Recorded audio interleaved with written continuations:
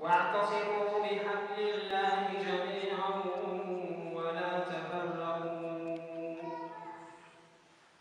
واذكروا نعمة الله عليكم إذ كنتم أعداء فألف بين قلوبكم